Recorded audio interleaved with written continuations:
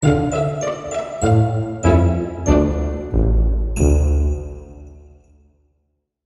everybody and welcome. Certainly glad you could join me today. In this video we're going to look at another lighting setup which will create some really awesome effects for your character portraits.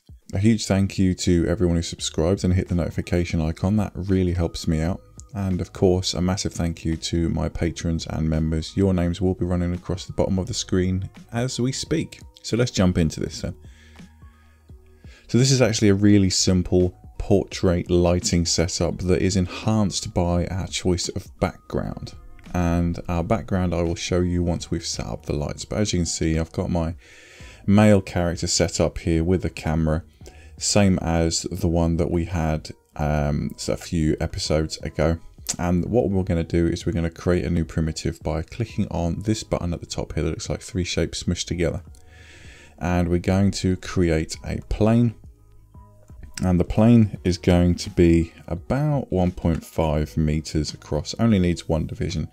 And we're going to hit accept like that. And we're going to select our object and immediately we're going to change its dimensions slightly. So in the parameters tab, making sure that we've got our first plane selected, we're going to come down and we're going to look at the scale. Now I want to make this narrower along the Z axis so we can check that that's the correct one. Yep. And I want this to be about 40% like that. So we've got a strip box basically. We're going to move it forward and we're going to bring it up like that. And we're going to get it into position so that it's nice and close to our character, but it's not going to be in the shot. Now what we want to do is rotate it around the x-axis. Remember the x-axis is along the um, the plane that we want to move it on. You can use the right hand rule if you need to.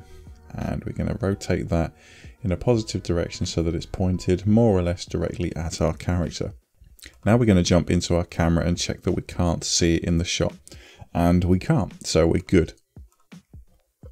Now because these are going to be identical planes, the, the other lights that we're going to use, all we're going to do is we're going to create a new node instance like that. And we're just going to hit accept. And as you can see, what that has done is created a copy of that which we're going to scale also along the z-axis to 40% like this.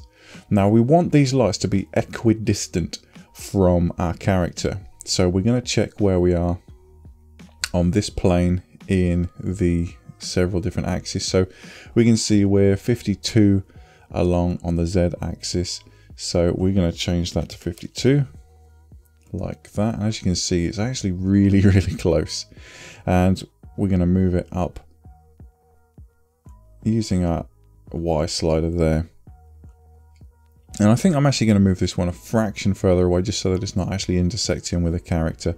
And we're going to use our X rotate again and we're going to rotate it pointing towards the character like that. Now this one, we're going to go into our camera view. We're going to check that we've still got our plane instance selected and we're going to bring it up gradually until we're just there.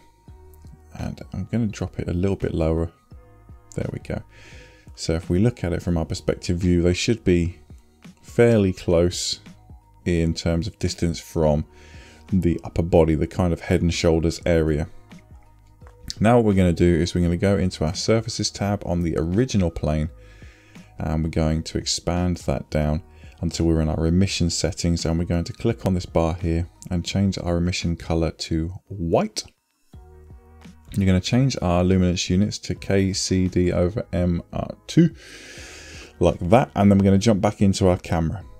And next thing we want to do if you haven't already been doing these videos before is go into your render settings in the environment and check that you are on scene only and that just removes the uh, HDRI from the area so that it's only these scene lights that are going to affect it. And you can turn off draw ground, it's not going to make any difference, but every little helps. So now we're going to switch to NVIDIA iRay mode and we can check how bright our lights are. So as you can see, we need to increase the luminance of these quite a bit. So I'm thinking we could probably go up to about 20,000 and that's better, but it's still not perfect. So I'm going to say 50,000. And I think we could probably still get away with going brighter, so we're going to go with 200,000. There we go. And what we're looking for is a really well lit character whose, um, there's no blown out highlights. We don't want any kind of white patches. So if we move the character ever so slightly, because I've set his eyes to look at the camera, if we rotate it ever so slightly, he should all of a sudden look straight at the camera. And if he doesn't, there we go, now he's looking at the camera. So in a final kind of piece to this portrait is the background. So we're going to go to environment here and in where it says none, we're going to change it and then we're going to select an actual background and we're going to apply it. So I've already got one made up. but I'm going to select it there and there you go. And all it is is a simple purple backdrop with a white kind of blob behind the character. And it's just, this is what we call a clamshell lighting. It's um, it's just light from above and below and it just highlights the character quite nicely. And it's a nice simple lighting setup that can create some quite interesting looking portraits. Hope you found that useful. Let me know what you think in the comments below. Smash like and I'll see you in the next one. Bye bye.